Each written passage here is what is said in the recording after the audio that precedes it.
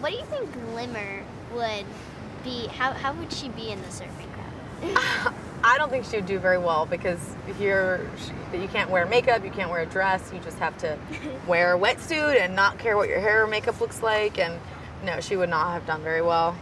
And it would have been too cold and too hot or too hot or something and complain about everything.